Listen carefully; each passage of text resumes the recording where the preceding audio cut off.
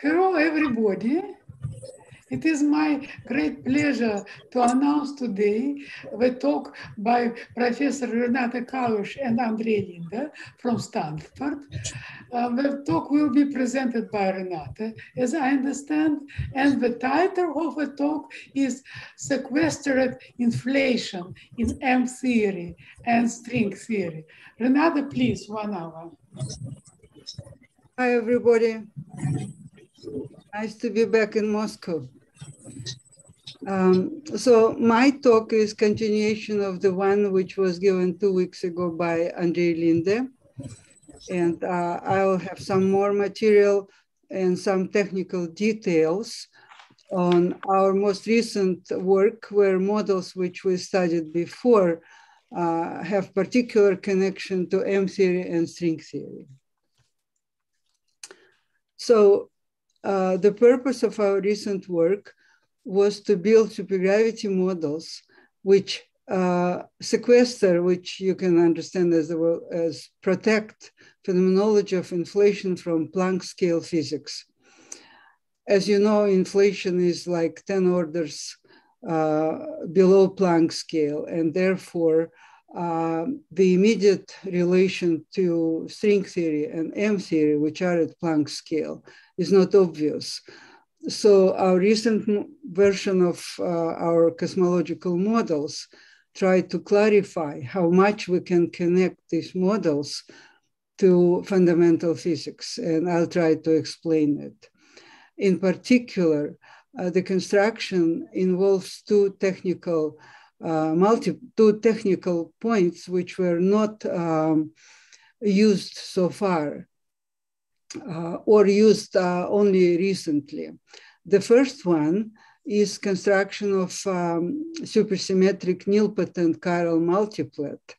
And this is basically Volkov-Akulov non-linearly realized supersymmetry, which uh, in string theory is associated with anti-D3 brane, which gives positive contribution to the energy of a system. And this become a, a very important part in cosmological constructions in our attempt to understand how to build uh, de Sitter space in the framework of string theory. And I'll tell uh, more about it. Uh, but this is known more or less from 2003 uh, when we first uh, were building something which is known as KKLT construction of de Sitter vacua in string theory. A more recent new technical element, which I'll explain today, uh, has to do with uh, Goldstone multiplets. And those are um, uh, associated with new symmetries, which we have discovered by simultaneously discovering new uh, type of flux superpotentials, which are associated with M theory and type 2B string theory. And I'll explain this part.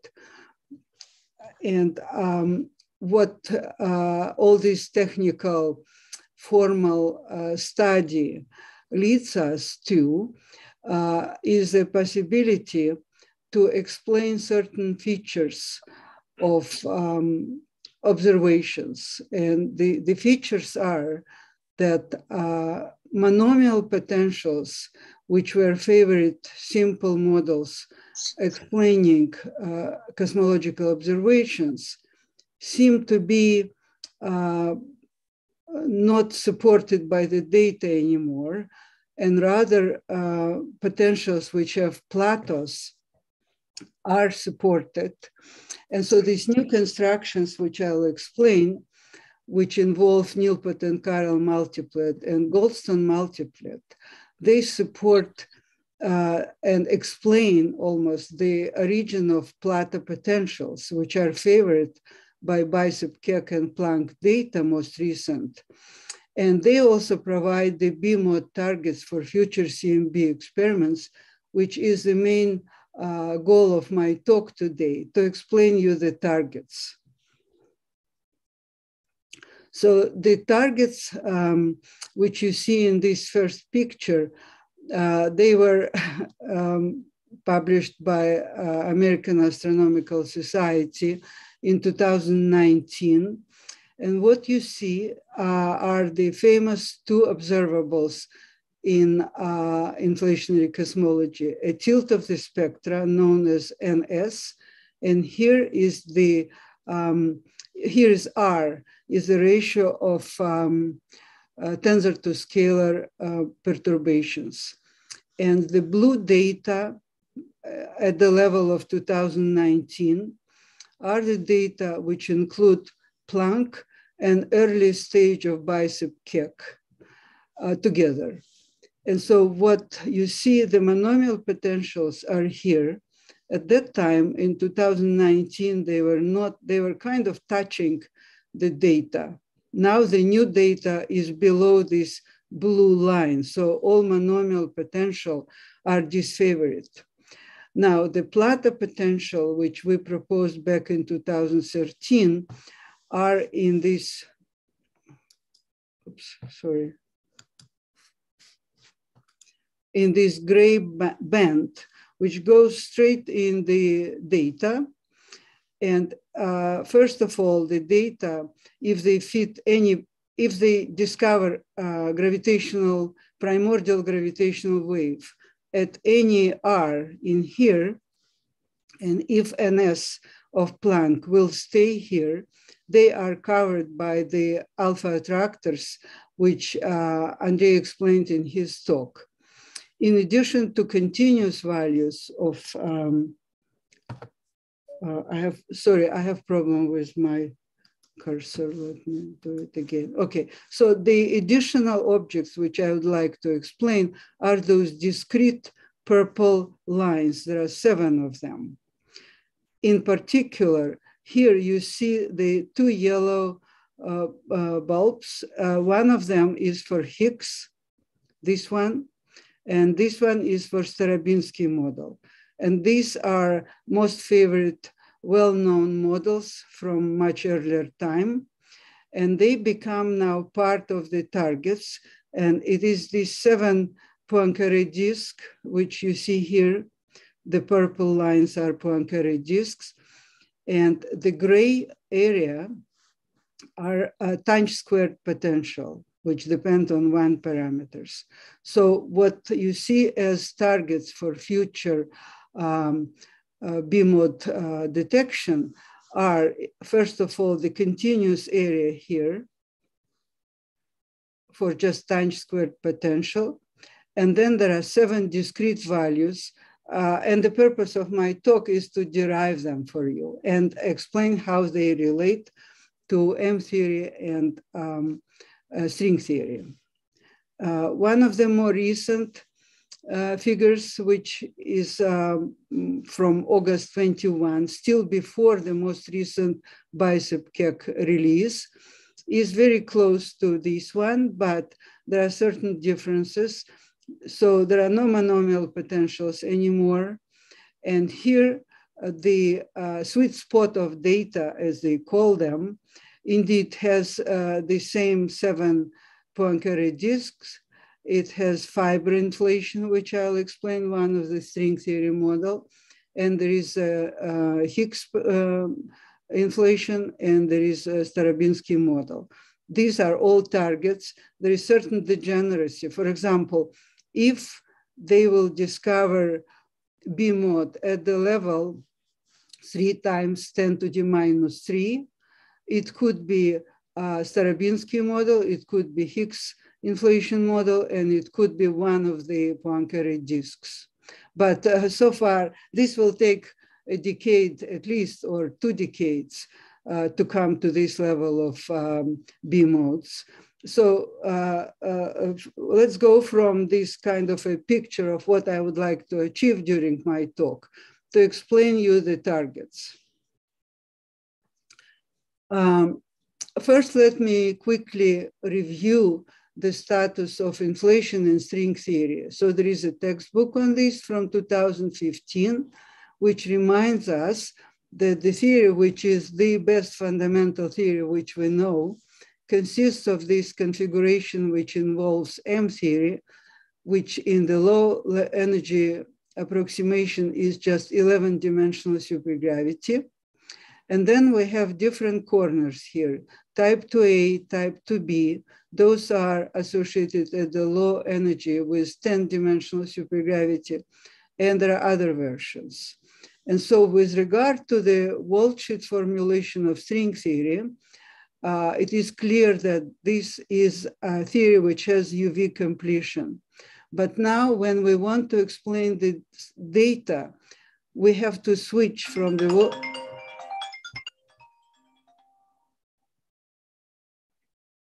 we have to switch from the worldsheet to the space-time and the total issue of uh, uh, completion is less clear.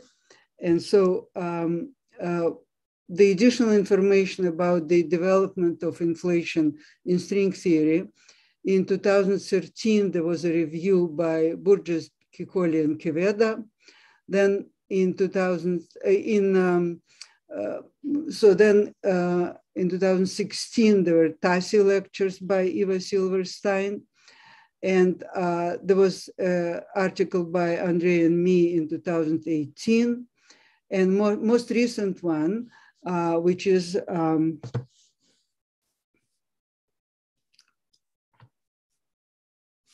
which is from um, uh, uh, from just very recent article, which Andrei explained in his talk. And then it is known that uh, in preparation, there is a big review on string cosmology, which should come out in physics reports, but is not yet there. And to summarize this uh, discussion, I'll just add that uh, to switch from string theory to observations, we start usually with supergravity limit of critical string theory, which means that we are uh, at the level of 10 dimensional supergravity, which however includes local sources, D branes and O planes. And then to explain the observations, we obviously have to perform compactification to D equals four to explain the observations. And uh, all current observations appear to confirm D equals four general relativity interacting with some matter is a good picture of uh, observations. There are, there are so far no known um, facts which would contradict this picture. Therefore, steps from the worldsheet uh, UV complete description to space-time to d equals 11 or d equals 10, and then the consequent compactification involves many steps. In the end, uh, at best, we can have um, uh, phenomenological models describing the data, and we can just try to trace the relation to fundamental theory. So the reminder, some of you may have seen that in string theory, there are many moduli, and we have to stabilize them to describe uh, inflation. And so this is just a, a picture which uh, may remind you that there are many, many steps going from D equals 10 to D equals 4. And uh, the string landscape picture, which involves many moduli, which have to be stabilized. And it became clear that um, after discovery of uh, positive cosmological constant back in 2003, we have built something known as KKLT construction, which involves anti-D3 brane. And this was um, an important step uh, and at least an attempt to address the new cosmological developments. And then um, there was a parallel uh, approximation in supergravity. And this is how we constructed de Sitter vacuum inspired by string theory. And starting 2014, there were new ideas. And now let me remind you, and of course, uh, in Moscow, this is well known, that uh, supersymmetry started with uh, Golfand Likhtman in 71 and for decades and decades, it was known that we are interested in linear supersymmetry, where for each Majorana fermion, we have a complex scalar, and this in particular, here you see the Wess-Zumino model, which is minimal supersymmetric model with Majorana fermion and a complex scalar. And with regard to this model, uh, various no-go theorem have been proven that uh, uh, you can only have uh, anti-de Sitter vacuum with negative or Minkowski vacuum with vanishing cosmological constant. We also know from LHC they have not seen SUSY partner uh, so far. Meanwhile, in Kharkov, uh, Volkov, Akulov, and a big group of people was developing at about the same time non-linearly realized supersymmetry.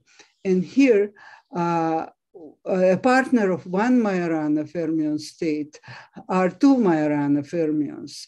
There are no bosons in this multiplet. And this non-linearly realized supersymmetry was not um, in big um, attention. And however, what happened after um, discovery of de Sitter vacua it became clear that the technically uh, special feature of Volkov-Akulov uh, construction is the presence of uh, positive contribution to the energy, because as you see, the Lagrangian is uh, negative and the Hamiltonian is positive. And then soon, uh, uh, in 2015, uh, Bergshoeff, uh, Dan Freedman, Van Proeyen, and myself as well as uh, two people in Japan, Hasegawa and Yamada, we have built uh, pure supergravity, even without matter multiplet, the supergravity which has de Sitter vacua, and these are positive cosmological constant. So this was the first understanding that if we want to respond to, um, to the positive cosmological constant, to discovery via supernova and other cosmological observation. This is part of our way of addressing this issue at the technical level. Uh, meanwhile, in KKLT construction, it was clear that uh, to obtain anti-de Sitter vacua for the volume, uh, stabilizing the volume is possible, but this is a negative cosmological constant. And this is stabilization of volume of extra six dimension. But uh, to make it positive, uh, we added anti-D3 brane contribution so that the final um, plot you see here, and then in this way, KKLT and including anti-D3 brane uplift gave us a positive cosmological constant in supergravity language, this uh, same story is described by the Kähler potential, which has an extra superfield. So T is a volume, and S is this nilpotent multiplet. And the superpotential depends on it. And so nilpotent means that S squared equals zero. And therefore, despite this is a supersymmetric multiplet, it is literally uh, Volkov-Akulov uh, case because the scalar is not independent, it's just bilinear of fermions. And so the condition of nilpotent multiplet was studied starting with Volkov-Akulov 72. There were many people interested. Um, one of the intermediate important uh, uh, papers was by Komargodski and Seiberg.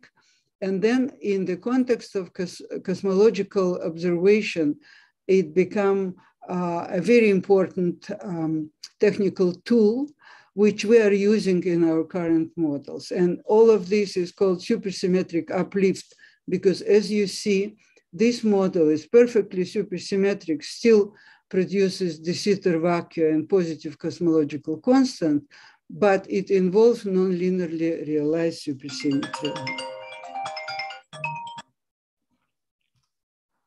So here's the uh, schematic picture. If we want de Sitter with positive cosmological constant, at the level of string theory, we are adding anti-D3 brane to certain configuration. And at the level of supergravity, we are involving a nilpotent superfield S squared equals zero. Now let's go to cosmology. And so this is um, uh, a picture from one of my talks in 2018. Uh, and this um, uh, red-brown area in RNS plot is WMAP. And the data go from 2010, whereas the blue area is Planck 2018. And there is a fantastic progress as you see. So everything which was allowed here in 2010, uh, after this shrink to the blue area, many, many model become uh, irrelevant to the data. Uh, and so let me just explain what you see here. So the uh, this red brown is WMAP, map. The blue is 2018 Planck. The yellow uh, band is alpha attractor models, which Andrei explained in the previous talk. And uh, here is natural inflation model, very popular at that time. And here are uh, monomial uh, models. One of them is known as axion monodromy, this one. Uh, and this has a potential phi to the power two third. And R squared inflation, Starobinsky model is here, and we have Higgs inflation here.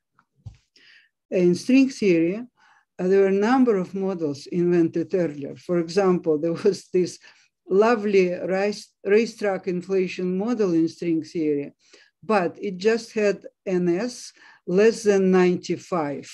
And this model was perfectly fine in 2010, but it was clearly uh, eliminated by the new data because this area is not inside the blue spot. There was a very interesting set of models, uh, D-term inflation, or in string theory, it was D3, D7 model, and it has NS 098, so it is here. I will explain more about it model. Then there was a KKLMMT model, version of it inflection model, and NS was less than 93. This was obviously out. And there was inflation model, which has R013, which after, uh, so it was okay at the WMAP level, but it was out because 13 is here. And so this was, uh, is, is not in the blue area anymore. So this is out, this is out, this is out. This model, however, it still remains interesting. And some of you who may have heard about tension uh, with regard to H0 may also heard that uh, people are building uh, early dark energy models, which tend to move NS uh, to larger values. So we keep an eye on this model depending how things will develop with regard to observations. So this is the picture which was shown in Andrei's talk, and this is most recent bicep Keck. So this was the area of Planck, which was blue in the previous picture, and this is the new uh, data. So what you see that natural inflation is uh, clearly disfavored and axion monodromy, the original model phi to the power two third is out of the uh, uh, two sigma area of uh, data. And so R is now less than 0, 0, 36. And uh, the error bar apparently is 009, but in some number of years, they promise it will be 003. So we'll have a better understanding of where we go. So uh, this is a short um, summary of how to save axion monodromy. There is a paper by D'Amico, Kaloper, and Westphal. They had to uh, do lots of things to keep the model alive uh, or um, forget lambda CDM and move to new early dark energy. And this is just to tell you that it is hard to stay in the sweet spot. And the same about uh, monomial potential. In particular, they had to go from phi to the power two third to phi to the power one over 10, which is kind of ridiculous. very small power of phi. And in fact, you end up even here. So to go down below in R, because the data will, if they don't find uh, gravity waves here, you have to go down. For this purpose, they had also to change uh, kinetic terms. So it is hard to stay in the current uh, small area uh, which data allow. Same happened with natural inflation. Instead of a simple model one minus cos, there are a number of additional uh, um, elements which have to be added to the model. And uh, it either includes many additional terms or even many additional steps. And this is just to say that the model, uh, which are outside of the data, can be still improved by adding various things to them. And so if you have more terms in the potential and more parameters, you can fit the data. Now, um, as a kind of entertainment, um, so let me tell you uh, my personal interest to primordial gravitational wave uh, detection was somehow related to the fact that um, we talk to people who actually do the experiment. And so there are two uh, major uh, CMBS4 sites. This is Chile and uh, Atacama. And so the experiments are known as polar bear, Simons array. Uh, Simons, uh, they, many of you know uh, Chern Simons and Simons as mathematician. He is interested and he actually gave a lot of money to build the Simons Observatory. There is also ACT and CLASS experiment, and this is in Chile Desert. the other uh, site is uh, South Pole. And what you see here is the South Pole telescope and Bicep Keck teles telescope. And um, Stanford students and postdocs uh, spend winters at South Pole, and then we, we talk to them. And these are real people who go and do the measurements. And uh, this is what uh, helped to shrink this, uh, this the observable uh, area. Now, another interesting uh, construction which is going on right now, and director of Vera Rubin Observatory is Professor Steve Kahn. He is at Stanford and uh, here it is. And so uh, determining the nature of dark matter and dark energy, two of the greatest mystery of modern physics is their purpose. Uh, one more uh, interesting um, uh, site is Ali region of Tibet. And this is um, uh, at altitude 5,250 meters, the highest ground-based CMB observatory. And uh, people from there were visiting us and explaining about all of this. And the advantage of this particular site is that it, it takes an alternative data. And they have in 30 kilometers of from the observatory, there is an airport. And so there is a hope that they will eventually also get uh, data and we will know more about uh, uh, B modes, about primordial gravitational waves, which is this factor R in plots, which I showed you. Um, and these are so far all ground-based experiments. And so the current limit is R less than 0036. And um, it comes from combination of Planck and bicep Keck. And so all the grant-based experiment I have shown you SPT pole, advanced ACT pole, bicep Keck, and polar bear. The next generation, uh, which are now under construction, is Simons Observatory, South Pole Observatory, and CMBS4 experiment.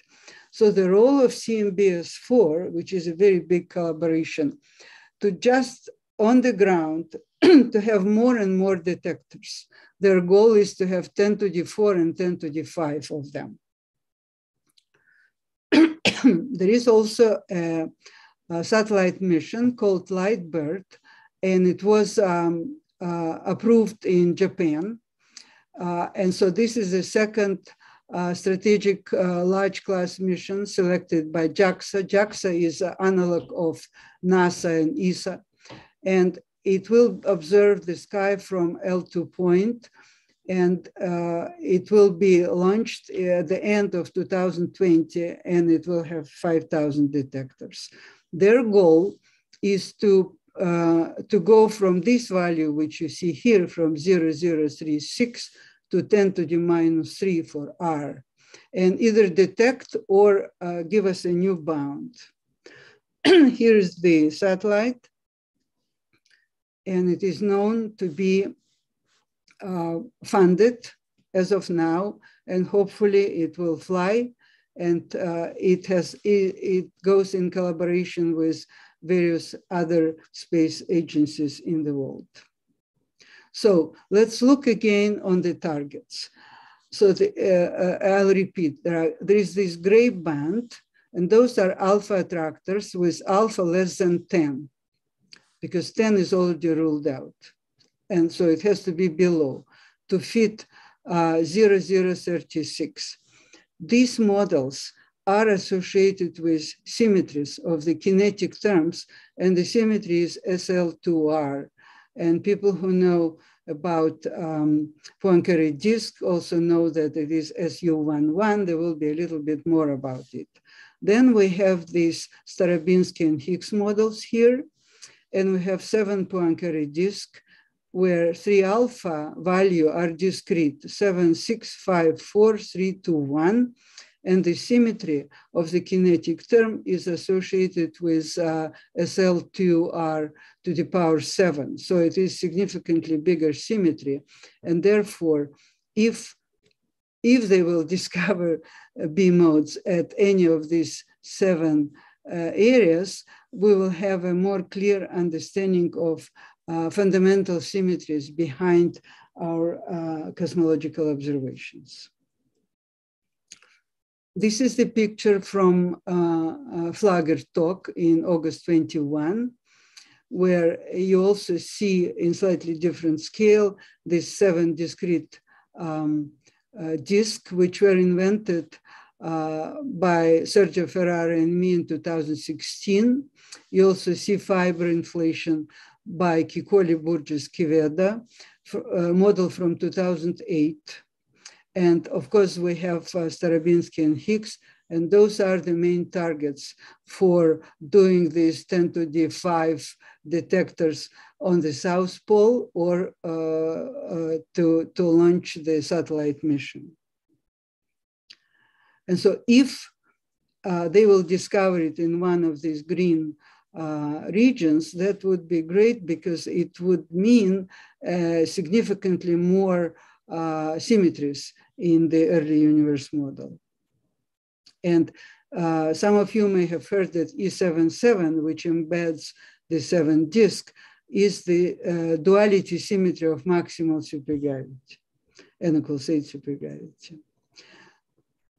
So one of the ways to explain flatness of the potential in inflationary theory is to start with theory with shift symmetry. And the famous example is axion potential and natural inflation or axion monodromy. And both of these simple version of the models are now disfavored. Meanwhile, if we uh, have Goldstone shift symmetry of supersymmetric flat directions on which our models are based, uh, those are Saxion flat directions, partners of axions. And when we have the nilpotent multiplet, we build such models in string theory inspired supergravity, and those are alpha attractors. Uh, also fiber inflation, Higgs and R squared inflation inflaton is a scalar rather than a pseudoscalar. And so, so far, the model which survived the most recent data appeared to have this Goldstone type shift symmetry, which I'll describe soon. And uh, in early supergravity, starting with the famous paper by Kawasaki, Yamaguchi, Yanagida in 2000, it was realized that in addition to inflaton multiplet, we need an extra superfield as a tool of model building. And it became even more clear that this is a nilpotent chiral multiplet representative uh, Volkov-Akulov symmetry or anti-D3 brane. And uh, the new models are really uh, based significantly on these nilpotent multiplets. So uh, I will uh, repeat what uh, some of you may have seen in the previous talk by Andrei Linde, that uh, we have um, a hyperbolic disk and therefore the kinetic terms represent the, its geometry. The kinetic term is not flat and there is a complex um, coordinate of the disk and ZZ bar is less than one. And uh, if we go to canonical variables out of uh, R, uh, it gives us tanh. And therefore, when the angular direction is stabilized, this is the typical model where f is some function of tanh. And the simplest one is the potential is ZZ bar to certain power or tanh to center, center certain power. And if, as people do today, they would like to create primordial black holes near the exit to inflation, they add a cubic polynomial in terms of tanh. So those are um, pictures which um, Andrei have shown, and just a reminder that uh, T models have tanh to some powers, and E models have one minus exponent to some power. And Starobinsky model is a case where alpha equals one in this exponent. And uh, we can also write these models in geometric variables. They're extremely simple. Here we have dz dz bar divided by one minus zz bar squared. and the potential is just zz bar. And uh, in terms of t variables, we have dt dt bar divided by t plus t bar squared, and the potential is t minus 1 squared. So in geometric variables, these models are extremely simple, and they always have this parameter alpha. Um, so the reason there are two versions has to do with this uh, well-known uh, transform from half plane to a disk. And so this is a z variable, and this is a t variable. And um, with regard to symmetries, when we are dealing with uh, geometry of the half plane, we have SL2R, which is which has this element. And when we have uh, geometry of a disk, it just uh, reshuffling of variables alpha, beta, gamma, delta in the general element of either SL2R or SU11 group and they're uh, isomorphic. And this model, therefore, has these two versions. Kinetic term has a strict symmetry, but the potential slightly violates the symmetry. And so in supergravity, it just has to do with the choice of the Kähler potential. In the disk case, it is minus 3 alpha log 1 minus ZZ bar, or minus 3 alpha log t plus t bar. And the curvature of the modular space is given by minus 2 over C alpha. So the interesting uh, story here that there is a symmetry, either SU11 or SL2R, and the only parameter which defines the value of the um, uh, gravitational waves is the curvature of the Kähler geometry. And uh, a, uh, uh, a while ago, we have realized that uh, these geometries were um, uh, shown in Escher's paintings long time ago. And uh, this is precisely the story of angels and demons, which seem to be smaller and smaller near the boundary here or here. But in fact, they're of exactly the same size as the one here. And um, what is interesting, that 3 alpha which is just the radius square of the corresponding Escher disk in cosmological models is equal to 10 to the 3 times r, where r we are measuring. So in a sense, people who do the measurements, if these models are uh, valid, they're measuring the curvature or the size of the Escher disk. And so when we plot these models in recent BICEP Keck plot, as you see the, um, the T models associated with SU1 one symmetry are in this yellow band, whereas E models, they go slightly different. They bend towards larger values of NS, and then they go to the attractors and they all agree with each other later. This is one of the early uh, pictures for alpha attractors, which we plotted numerical values. So we can start at any polynomial here at very large alpha. But when alpha is decreasing, they all go in the, in the same place. And the same with E models. We can start with phi to the 6 or phi squared or phi. And after, uh, after, dec after decreasing alpha, this by the way is alpha equals one, Starobinsky Higgs level, then they all become uh, same models and uh, slightly different above the attractor points. But um, if they don't find gravity waves for a long time, they will be all the same. And this is another picture, which again is just a result of numerical investigation.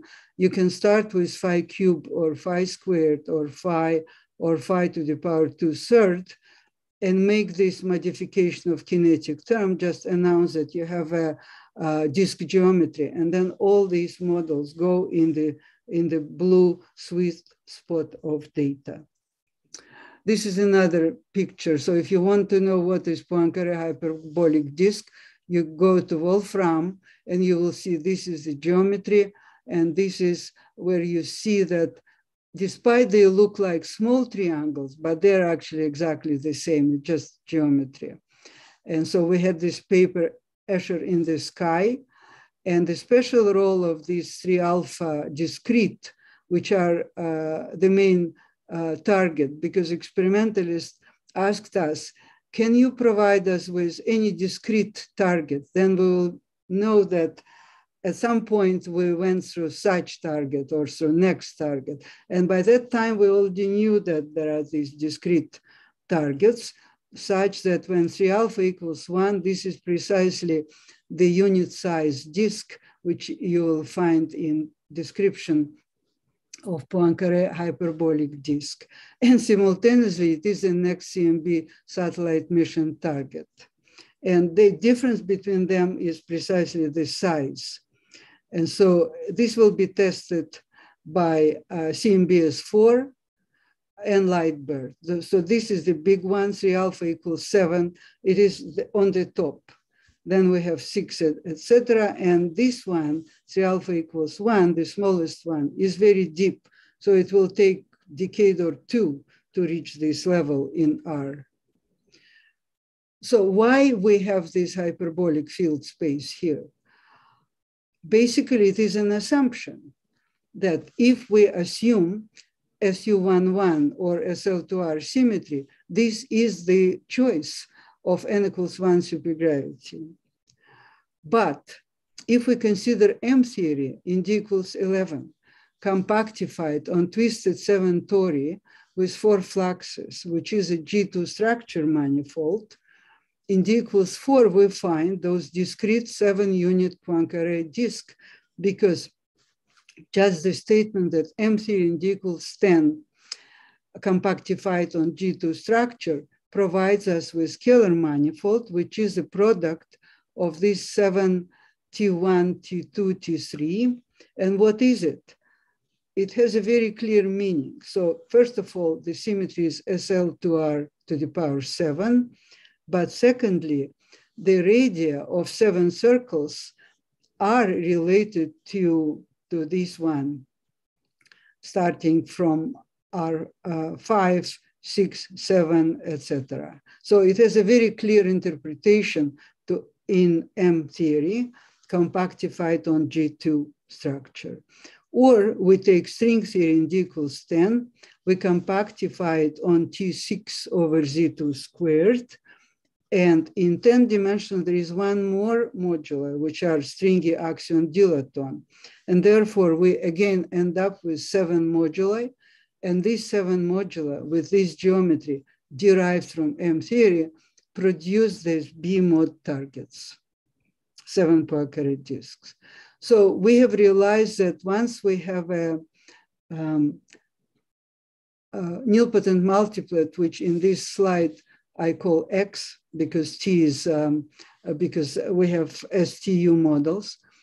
if we have these technical models, which are the most recent version, the most advanced was uh, from uh, last year, we end up with um, potential of our choice. And this is highly non-trivial.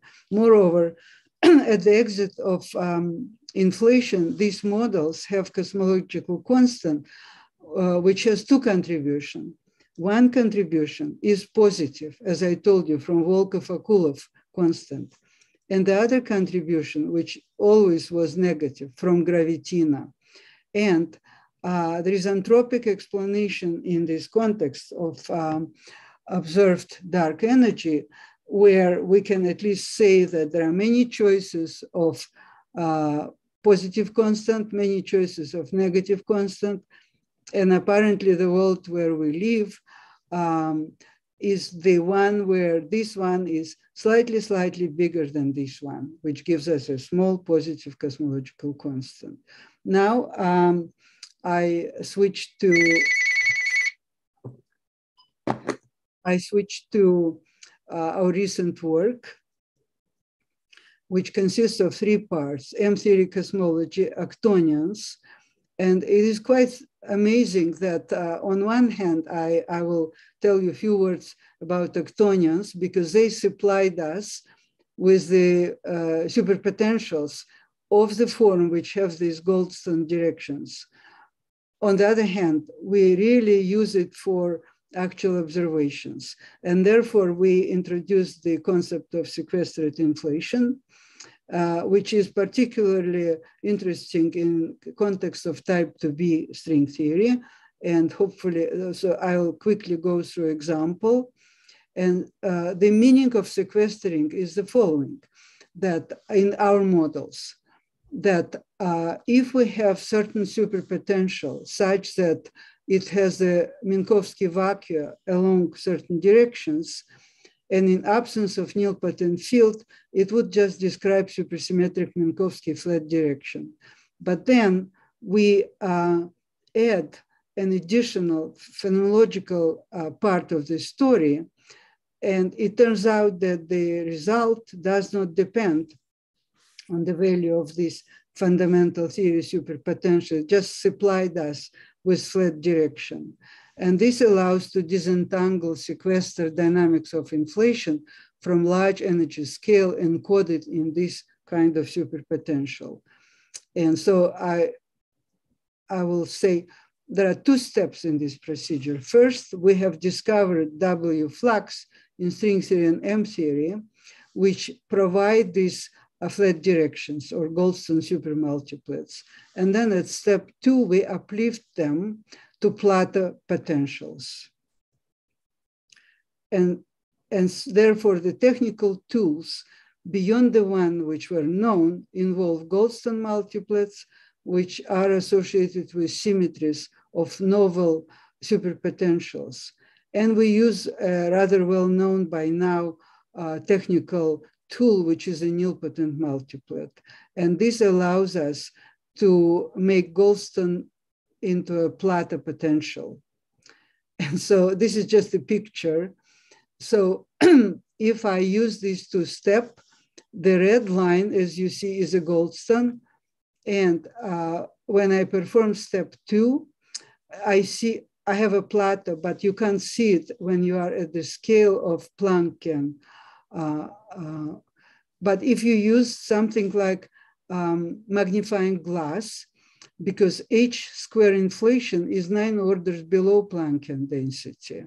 And then suddenly you see in this scale that what happened, the whole red line, which was totally flat, now gives you alpha attractors because uh, it allows this exit from inflation and small dips which you cannot see in the scale of m Planck equals one, but in the scale which is 10 orders below, you can see.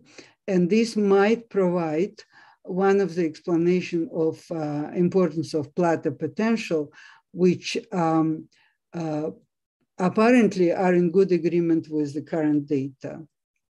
And so the results are in these models, we have answers for NS in the attractor region and for R. And either we have discrete set of values which they might or might not discover gravitational waves. And if they do, it would mean that maximal supersymmetry associated with M theory and string theory is the um, story in the early universe. Or they will discover uh, gravitational waves somewhere, uh, and this for some continuous values of 3 alpha, not precisely these discrete ones. And this would indicate that minimal supersymmetry and four-dimensional supergravity are behind our models. And so if there is a minimal supersymmetry, the prediction is in this continuous band. Any R is possible and NS as it is feeds the data. But maximal supersymmetry would mean that they would discover one of the hyperbolic disks. And the numbers are uh, like that. So when 3 alpha is between 1 and 7, R is between 10 to the minus 2 and 10 to the minus 3. And this is the region where uh, LiteBIRD hopes to get us the data. And uh, I think I'll skip all um, technical uh, slides except one.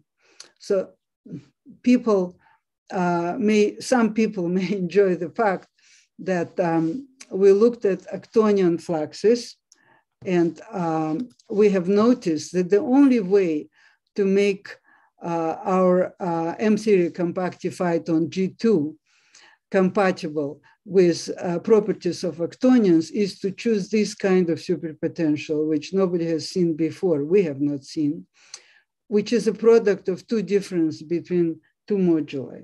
And as a result, and the choice has to do with um, Cartan, Schouten, Coxeter octonion multiplication table. And there are 480 octonion convention and if we want the physics to be independent of the choice of the convention, this is the only choice. And it has to do with the Fano plane and all kind of beautiful mathematics, which I'll skip because I have no time. And in short, uh, because of the property of the superpotential, we have these Goldstone multiplets. And I think in type 2b, we found many of them, and I'll just skip because I, I would like to come to conclusion. And uh, we use this new type of models and new type of the potentials. We had to do a lot of numerical studies to justify that uh, out of seven moduli, we end up with cosmological theory, which has exactly a single inflaton, which is evolving, whereas everybody else is heavy and doesn't spoil the evolution of a single inflation. We had some two-valley cosmological scenario and a merger of two of them and lots of numerics. Uh, fortunately, we have very, very strong young people helping us with this program. So these are benchmarks for T models and E models, which uh, are now uh, looked at carefully with regard to what exactly it would mean because now we are somewhere here, but the data will come about this region. And it is between this 10 to the 2 and 10 to the 3 that we have our most interesting targets. It remains to be seen if they will find something or not. And so I will uh, end up with this particular slide. So this is BICEP Keck recent data.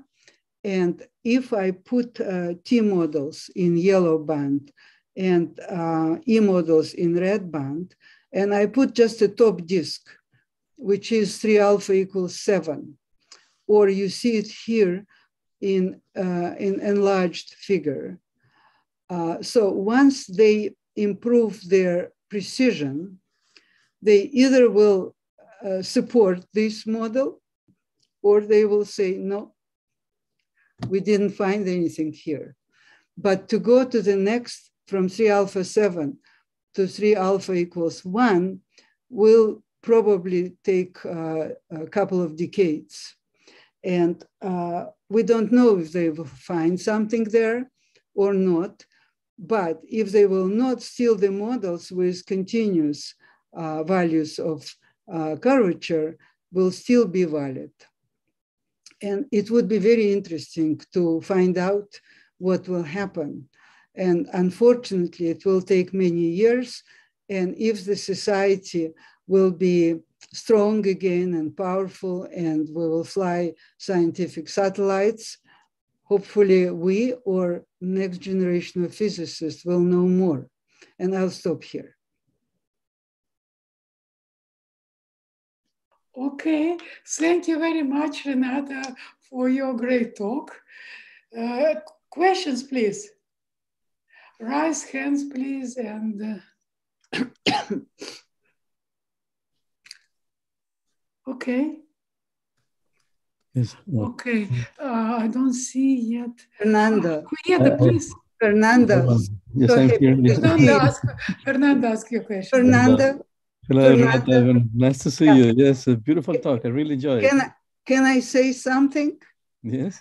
Just yesterday, people um, who are making a new proposal for um, BICEP Keck send us a question asking about uh, whether they should include a fiber inflation model in their next proposal. Oh, and wonderful. our answer was, of course, yes. Great. Thank you very much. Your question now. Excellent. Thank you. Okay. No, I really enjoyed it. Um, I think you skipped the, the, the parts of on the on when you were addressing the, the type 2B realization. Could you Yes. a little bit on that? Yeah, I would be absolutely happy if people don't mind. I want to show you uh, how surprising was what we uh, uh, noticed in type 2B.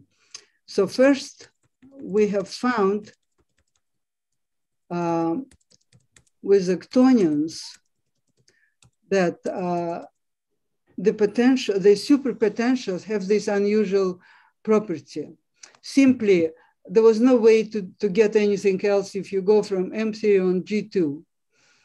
And this is covering all 480 uh, different versions of octonions. But then we decided to see what we can learn in um, type 2B. And so what we did, we took the version of type 2B compactified on T6 over Z2 squared, Mhm. uh, orientifold with generalized fluxes and O3, O7 planes. And Mhm. there was this very well-known paper by Aldazabal, Camara, Font, Ibanez, and they gave this form of the superpotential. But it was necessary, as you know, to satisfy tadpole condition, cancellation condition in type 2B string theory. And many people who are less familiar, we just had to solve Bianchi identities because in addition to supergravity, we have all these local uh, objects, uh, uh, fluxes and, and O3, O7. And so we, we took their general form and we solved the Bianchi identities. And it was amazing. And uh, it was um, Timm Wrase here in the US and uh, Yusuke Yamada in Japan. They made these wonderful notebooks and suddenly they found the solution of all of these equations and they produced the following Goldstone directions. One was, um, the, this is an example.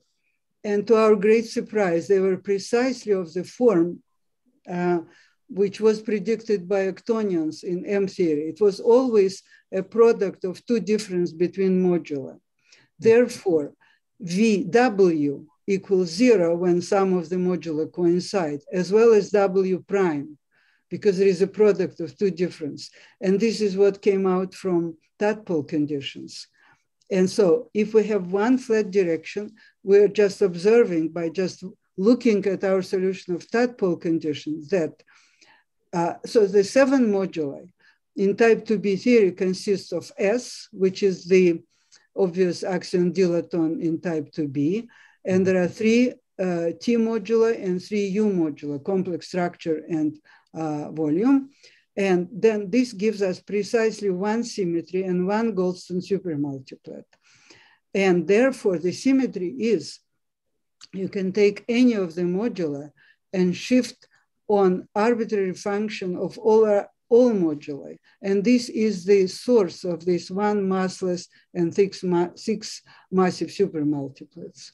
And it all came from hmm. enormous computation uh, solving tadpole condition. Uh, and so somehow type 2b knew about the octonions in M theory on G2. This was another example we found. And again, is a difference between combination of moduli.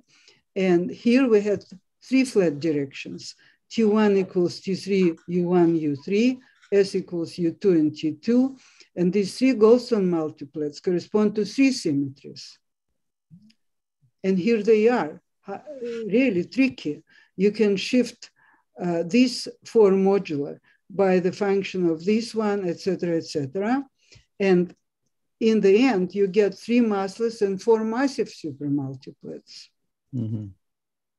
And then at step one, you start with the uh, standard Kähler of on the disks, and, and then all you need to establish that without the additional step by a nilpotent multiplet, all you have is you have uh, six heavy moduli and one massless. Then you add the phenomenological part. As here the masses are a lot of numerical. One is massless. This is Goldstone. And six are very heavy. This is Planckian scale. Hmm. Then we make this step two with a nilpotent multiplet of our choice. And here we go. We end up with precisely one uh, uh, potential, which is plateau, and we check that everybody else is very heavy. That is the story. I hope I didn't make too much time. Thank you. Good. That's perfect. Thank you. Very interesting. Thank you very much. Okay. More questions, please? Please, can I ask? Oh, please, yes, ask. Yes, please. So again, best greeting from the Lebedev Institute, Renata. Uh, first of all, I would like to express my admiration uh, that you find ways and logic in this extremely complex model building paradise.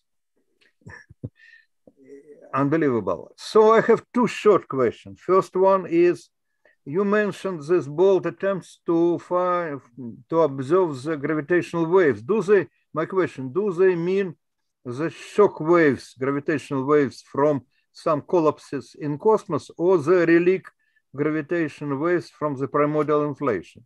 This Those my first are, question. Yeah. Okay. Okay, I'll can tell another one. Can I answer the Other, first one? Those are primordial gravitational waves. Primordial. They're very different from the one which have been observed by LIGO, for example. LIGO is coming to us from, say, few billion years, whereas the primordial are co coming all the way from 13 billion years ago. From the beginning, yes. From same. the beginning, yes. This is why they're very bold. They're much more weak. They're yeah, extremely difficult more weak. to find. Yes. And my second question: Are there some theoretical models where the primordial uh, de Sitter, this positive vacuum energy somehow logically correlated with dark energy, which we observe today, the very small dark yes. energy. Or there are no correlations, uh, yes, yes, there are. So we want, uh, after the exit from inflation, to end up not in Minkowski, but in a space with tiny, tiny 10 to the minus 120 and Planck to the 4 cosmological constant. This is how we build our models. This is where Volkov-Akulov non-linearly realized supersymmetry was so powerful because Volkov-Akulov action or anti-D3 brane action is precisely giving positive contribution and it has to be slightly bigger than the contribution which we always have to the energy from the negative, a negative contribution due to gravitino mass. And these two mechanisms allow us to make in our models exit from inflation into de Sitter rather than in Minkowski or in anti-de Sitter where the universe would collapse. Thank you. Thank you. It's very interesting. Thank you. Okay. More questions, please? Okay. Uh, please. Uh, hi, Renata. Thank you for the very nice talk. I have a couple of questions. My first question is about uh, cosmological constant. You gave this anthropic explanation between the difference between the Volkov constant and the gravity mass. But uh, if H0 tension is true and if it is not lambda CDM, then what is your explanation according to yeah yeah so we have constructed the model, I think I have them in my backup slides. They're called uh, quintessential alpha attractors. Let me just find here. So uh, some, some years ago, we decided precisely that uh, future data may either support cosmological constant, which would mean equation of state W equals minus one, or they will give us some W depending on, uh, on redshift. And just in case, people worked on something which is known as quintessential models. And we uh, uh, worked out our model, uh, which we called quintessential alpha attractors. What you see, we have one plateau here responsible for inflation. And instead of um, exit having a, a, minimum Sitter, we just have a second plateau here. And this would mean various things. We are capable meet the data if they will find that cosmological constant is actually not a constant and we have to deal with some kind of dark energy and we have enough options here and enough parameter to address this case, as well as other people who are working on quintessential models. Does it answer your question? Okay.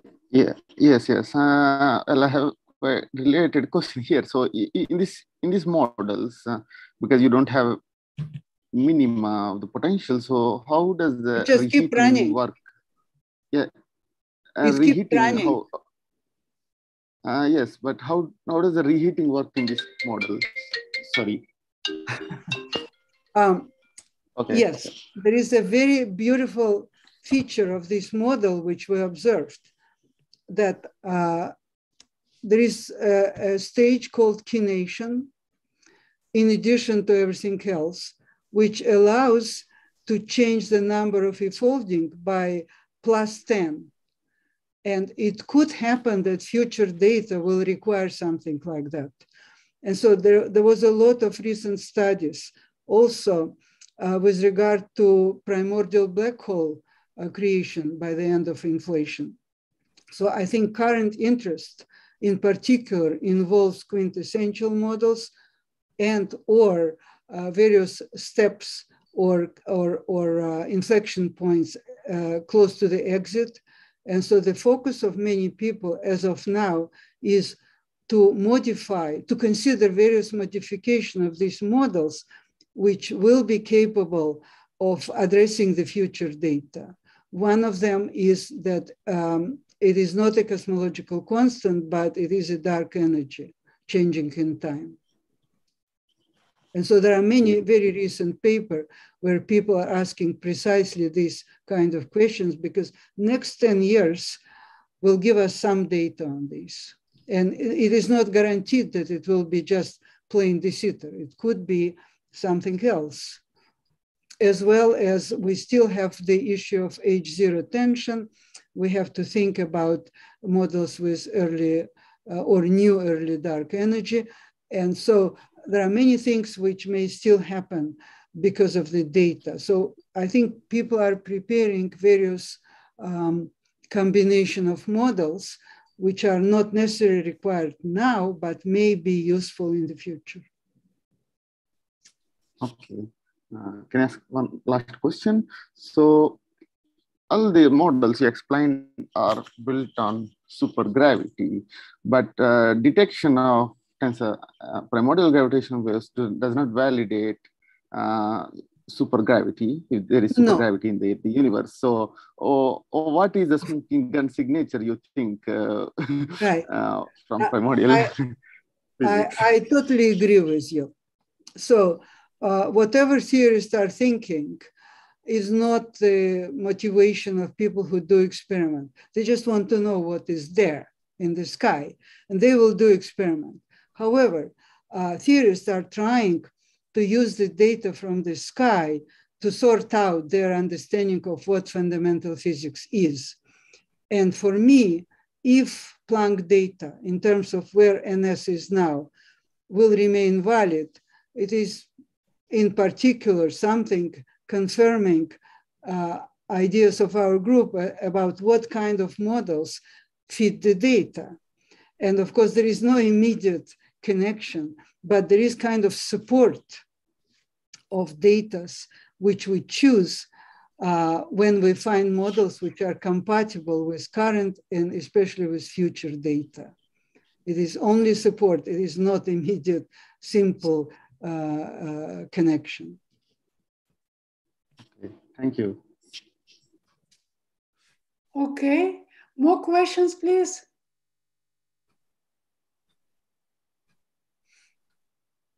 I don't see more.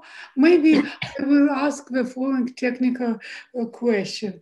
Renata, you during your talk, you have mentioned many times about Volkov-Akulov nonlinear model. As I understand, this is non-renormalizable model. Is this true? If yes, do you expect that is some kind of effective model? And if it yeah. is a effective model, we have to introduce some, uh, some uh, extra parameter which regularize this.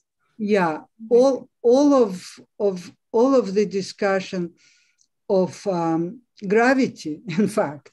Oh, oh yes, it's true. Yes. When we deal with cosmology, we have to involve gravity. So the issue of um, renormalizable theory is not something we can easily address we are trying to build an effective theory which has certain properties. Mm-hmm. In particular, whether it is property associated with non-linearly realized supersymmetry, which allows us to build effective theory. But on top of it, in particular for um, alpha attractors, there are certain type of um, observations that uh, they are stable towards quantum corrections and uh, this has to do with this plateau, approaching the plateau. But uh, it's not um, important maybe in, in this more general picture. If we deal with cosmology, we need gravity. And we don't have a simple QFT of gravity. That's the answer. So we do the best we can by saying this is the effective theory which we use to learn how to understand the data. Mm -hmm. It's not QFT, no. Yes. Okay, thank you. More questions? Okay, Sergey Vernov, please. Uh, thank you. Uh, my question is, what happens before inflations in your model? What is uh, cosmology? That's, that's, a valid question. And I believe uh, our understanding at present is it would be great to know the answer. And yes, we don't have it. To some extent, the, the acceptance of inflation is, is maybe indication that we can manage this very early stage of the universe and we can explain seven features observed in CMB through inflation. But, and we, we are able, we seem to be able to do it without uh, having an answer to your question. Yes, we don't know how to deal with singularity, but it didn't prevent us from uh, explaining the data from CMB via inflation, which happened soon after. But yes, we don't have, everybody would like to know how to go through singularity or what exactly happened before inflation. Sorry. And maybe another question, what you say about primordial gravitational waves and primordial black holes. Is, Oh, it, is it connected or not? Uh, you, what is No. the reason of the, No, no. Um, B modes are uh, gravitational waves coming to us as tensor perturbation during inflation. The one which we are we which we see on the sky, they are scalar perturbation. This is what we see on Planck map, all the dots. We don't see gravitational waves, and their level uh, is something which we would like to know. This is why we are spending a huge amount of money on this uh, to understand primordial gravitational waves coming from inflation. Meanwhile, uh, one of the basic reasons why people are interested now in primordial black hole is that um, the ones which were created in the early stages of inflation are gone. They are somewhere far away. But the one which were created close to the exit, they might be relevant to the issue of dark matter. Because all attempts to find dark matter through axions or dark photons or uh, supersymmetric particles so far were not working. And some people uh, concluded that having uh, primordial black holes associated with dark matter might be one of the things to find out. And so the one which are created close to the exit of inflation are now under scrutiny. People are trying to see how to do it. They have to bend the potential. And then they see that in some cases, they might be black holes, which contributes to, to dark matter. In some cases, things are more complicated, but there are many papers now on Yeah, this, yeah, but they're not related.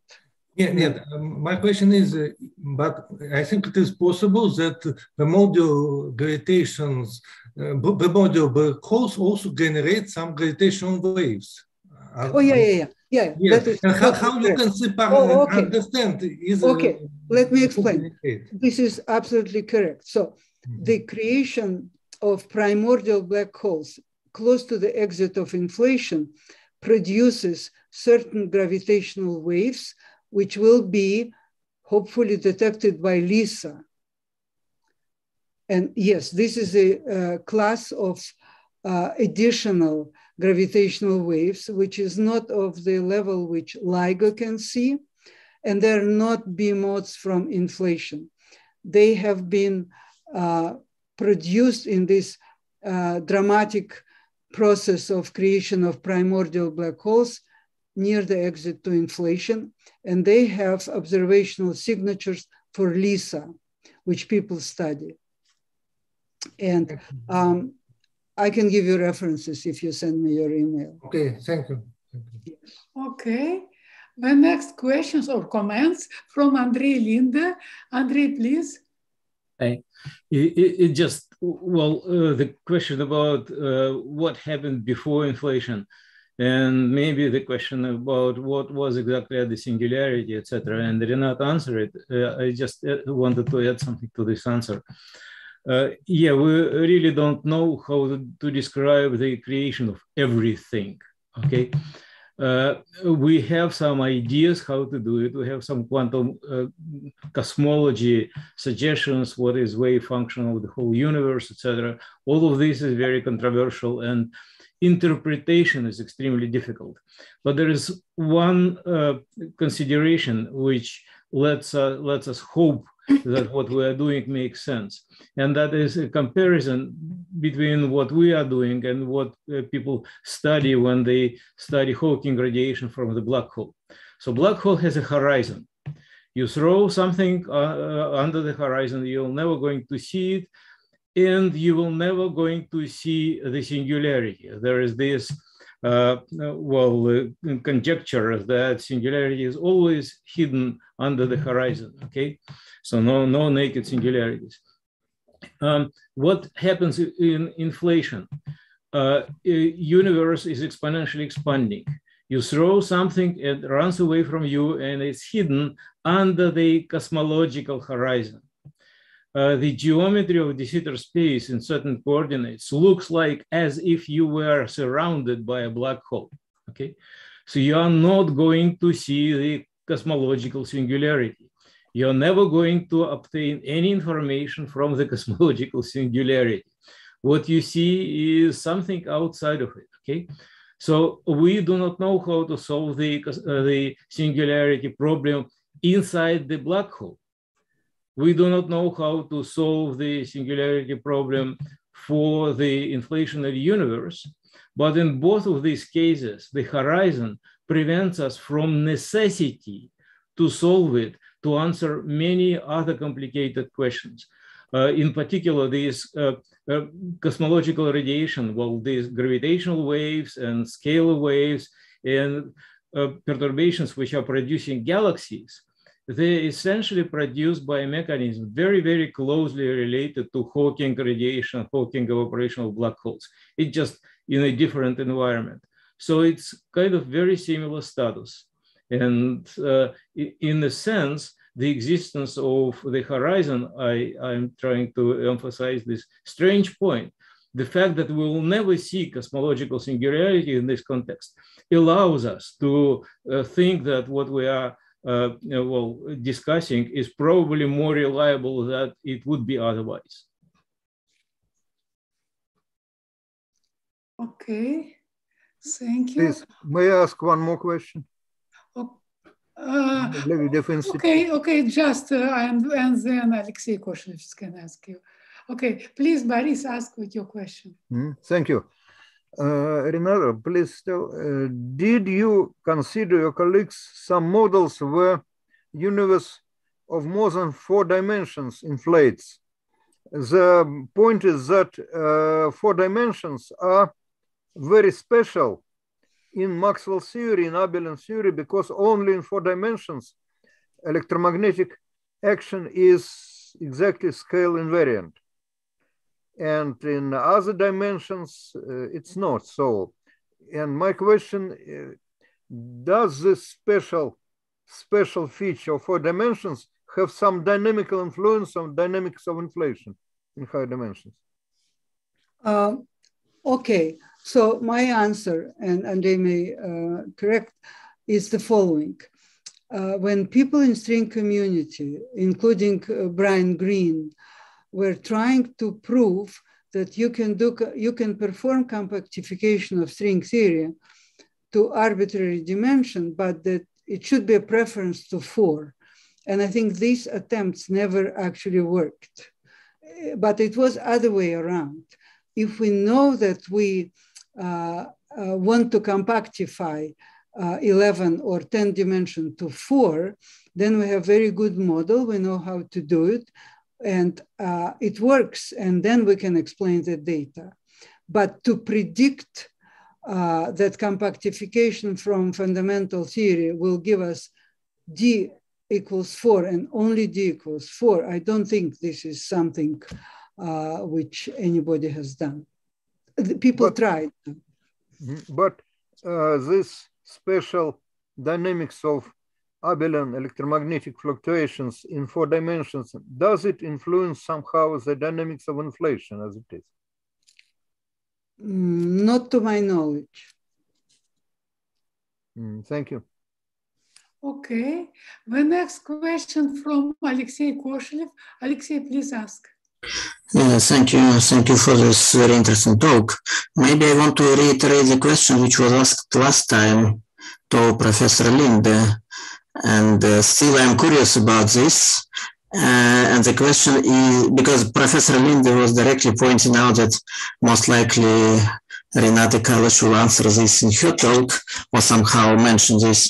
Uh, a few answers, but tell me which one. Conformal anomaly in this case oh, of attractors. Okay, let me let me uh, uh, um, show you uh, what I was planning to say.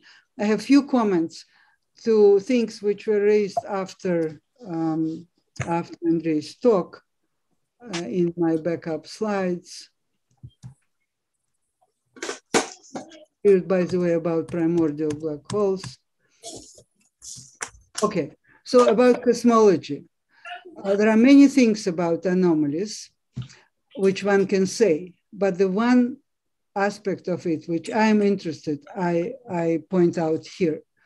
Uh, and uh, is Tokarev here? I think she asked the question. Uh, yeah. Or you can. Most likely she's not here, but I remember the question because I'm also curious. Yeah. Right. So I have no reaction to uh, her recent work with um, Shaposhnikov. I had no time to read it, but I had some uh, comments of the following nature that in QFT, anomalies in standard model cancel. We are very lucky. It's a normalizable theory and anomalies cancel. Yeah. But in cosmology, we are forced to look at some kind of effective general relativity in d equals four, which is explaining the observation. This is one ingredient.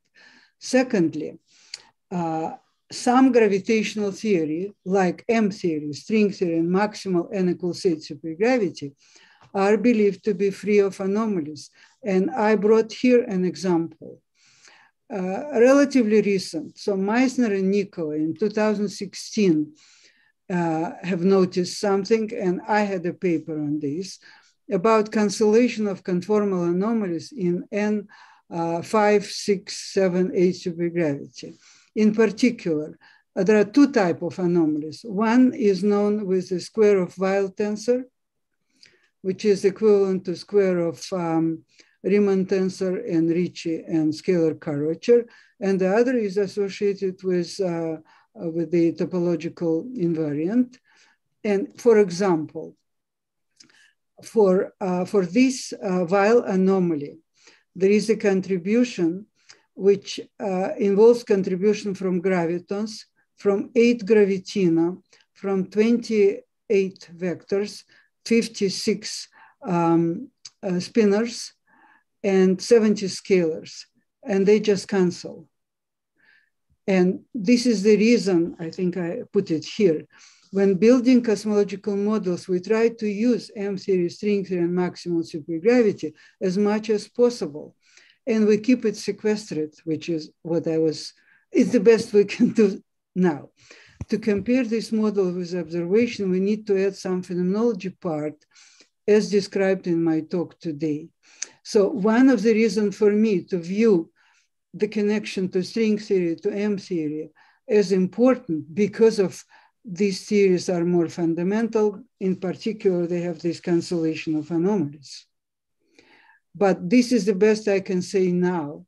And in the context of gravity, especially as Irina uh, uh, noticed, what can we do? It's not quantum field theory. On the other hand, we have data we don't expect have particle physics accelerators soon. So in foreseeable next two decades, we have much more data from cosmology, from the sky, and those are based on relativity. So our standards, I believe, have to be like that. We would like to use as much as possible theories known to have, have no anomalies. But at some point, you can't really stay in D equals 10. you have to see the observable world somehow. Yeah, and so this is what I was trying to explain today. That our current, unless there is some significant scientific revolution in our understanding how to deal with gravity, yes, anomalies are important. And therefore, if accidentally they will discover uh, primordial gravitational wave at the level of one of the seven disks, it will be the indication that fundamental theory have something to say with regard to first moments of, uh, of the universe. And if not, we'll have to, to see what will happen. I see. So if I got it, I had I had another comment. Yeah. Uh, so there was a discussion of um, uh, papers by Starobinsky and you and other people.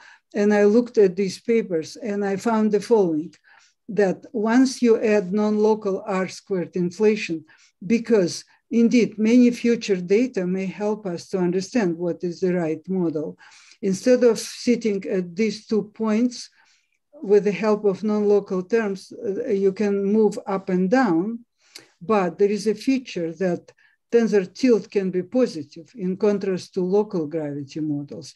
And this is what uh, is interesting. So as I said, we accumulate models of different kind for the future data. And this is my current comment. I also had the comment on, I don't know, is anybody interesting, interested in, in this? I'll go quickly. So there was recently a review on swampland conjectures. And these four papers, they're young theoretical physicists. None of them ever worked in cosmology. And when we looked at the axion inflation, they didn't know about the new data. And so all models they discuss are disfavored as of now. On the other hand, there was another recent paper uh, by uh, young people who know some string theory, but also there was a very well-known cosmologist there. And they, uh, this combination of authors produced the paper on early dark sector, Hubble tension swampland. And this is interesting because they uh, displayed various conjectures uh, which can be checked in future data.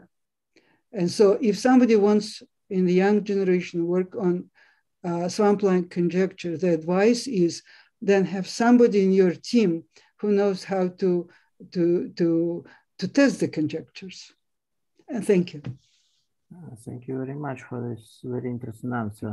So did I get it right that uh, you uh, propose to think about n greater than 4 series as a fundamental subject, uh, so as some fundamental construction for our world to cancel anomaly. And for the moment, it's uh, maybe well, observation. Uh, let me let me make it a bit softer. It is known that if I am in d equals 4, which may not be fundamental, or if I am in d equals 11 or 10, there are certain symmetries. And some version of these symmetries is behind the model, which are literally tested by experiments. And so the inspiration for these models are come, is coming from models which are anomaly free. But it doesn't mean that they will show up in the data. Yeah, this is. It will be long yeah. waiting time. Yeah. But Thank it's good to have this uh, perspective. Yeah. Thank you very much. You're welcome. More questions, please? I don't see more questions. Yes. If... I, I have a special announcement for Andrei Linde in Russian. Дорогой Андрей, через четыре дня исполнится 50 лет со дня окончания нашего физического факультета. Я хочу сообщить тебе, что мы собираемся примерно в середине апреля, и те, кто не сможет присутствовать лично, могут с нами пообщаться по Zoom. Дорогой Андрей, еще раз поздравляю с замечательным нашим юбилеем. Okay. Thank you. Thank Very you for attention. Okay, this is nothing secret. So the people who don't understand Russian, first of all, can study Russian okay, or switch on to a translator. But in any case, it was about some anniversary of um, uh, end of a universe of uh, uh, of, say, okay. graduation, I guess. So, 50 years anniversary of the end of the university yes, of the end of a university. Yes. Okay. If there is no more announcement and no more question, let's thanks Renata for wonderful talk. Thank you very much. The discussion also was great. Thank you all for um, participating in our seminar. Thank you very much. Yes. Thank See you. you. Stay well. Stay well. Thank Bye. you.